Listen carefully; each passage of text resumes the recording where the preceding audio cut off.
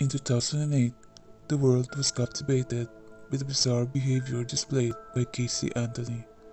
The then 22 year old single mother from Orlando, Florida, was revealed to have spun a web of lies to cover up for the disappearance of her two year old daughter, Caylee, that summer. The Facebook photos of her partying around town and the dirt of emotion in interviews fueling the charges of first degree murder before Caylee's body was discovered later that year. However, there will be no closure for those outraged by a mother's neglect of her child, as Casey escaped conviction in 2011. But the questions of who killed her young daughter and why were never resolved.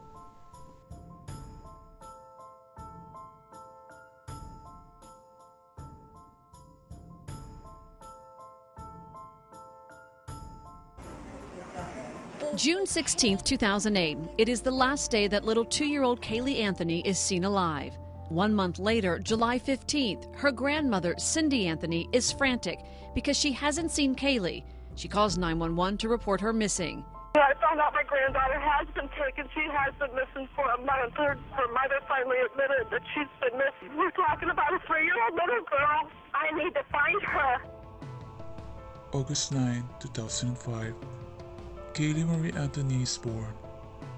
Caylee arrives after Casey's repeated denials to other family members about her pregnancy.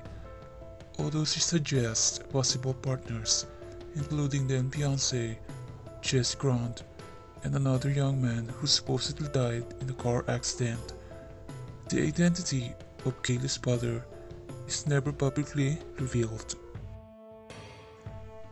June 16, 2008. Casey drives off with Caylee. Caylee was raised in the Orlando home of her grandparents, Cindy and George Anthony. But the day after an alleged family argument on Father's Day, June 15, Casey leaves with her young daughter and Robob's efforts to reconcile in person. After learning that a family car used by Casey had been impounded, George retrieves the car and is overwhelmed by the smell that remains even after a bag of trash is removed from the trunk. Cindy tracks down her daughter later that day and over a string of 911 calls reports that Caylee has been missing for a month, demands Casey arrest and notes the vehicle odor, saying, It smells like there's having a dead body in the damn car. Casey is arrested and charged with child neglect, lying to investigators and interfering with the criminal investigation. July 22, 2008. Casey is declared a person of interest at the bond hearing. The hearing introduces evidence that a cadaver dog had zeroed in on the odor of human decomposition in the car trunk and the Anthony's backyard, as well as Cindy's admission that they had all seen Caylee's after June 9. Although Casey is being held on relatively minor charges, the judge is disturbed enough by the evidence and the young mother's seemingly indifferent behavior to set bail at $500,000. August 20, 2008, Casey's bond is posted. California bounty hunter Leonard Padilla announces that he has paid the $500,000 with the hope that Casey will lead them to Caylee. October 24, 2008. Forensic reports from an examination of Casey's car are released. The reports note that a hair strand discovered in the trunk is microscopically similar to those found on Caylee's brush showed characteristics of apparent decomposition. Additionally, an air sample from the trunk is found to contain chemical compounds inconsistent with human decomposition. December 11, 2008, the skeletal remains of a young girl are discovered. The bones are found in a bag in a wooded area less than a half mile from the Anthony's home by utility worker Ray Kronk. It is later revealed that Kronk had sought to convince police to search the area back in the summer.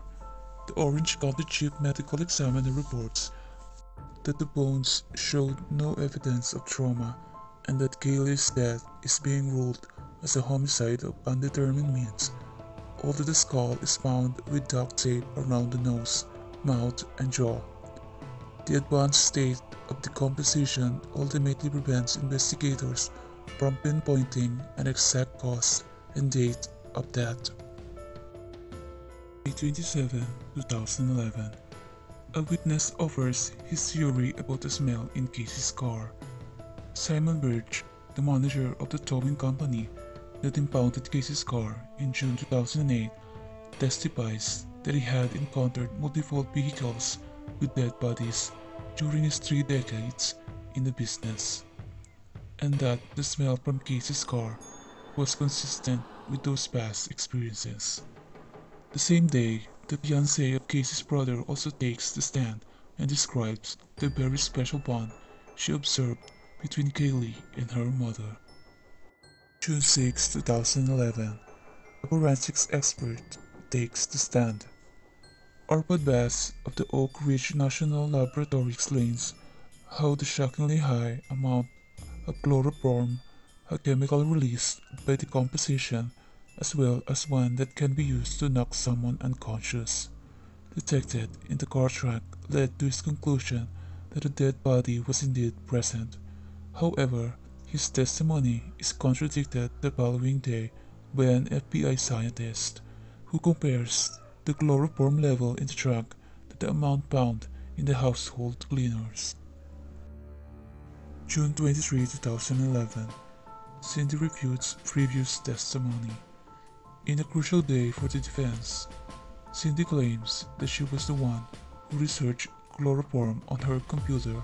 She also testifies that a stain found in the trunk, allegedly caused by Caylee's decomposing body, was there when the family purchased the car eight years earlier. July 3, 2011. The two sides present their closing arguments.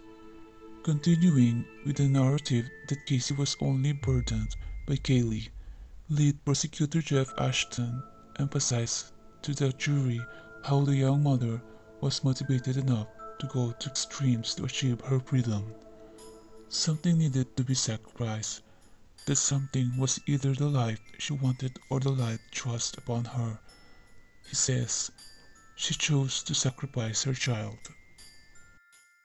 While forbidden from revisiting the unsupported molestation claims, Bass nevertheless delivers an effective closing argument by pointing out the lack of evidence that could definitely place Caylee's body in the car trunk or tie Casey to her daughter's death. After almost six weeks of testimony and 400 pieces of evidence presented in court, the jury of seven women and five men takes less than 11 hours to reach a verdict of not guilty. July 7, 2011 Casey is sentenced to time already served.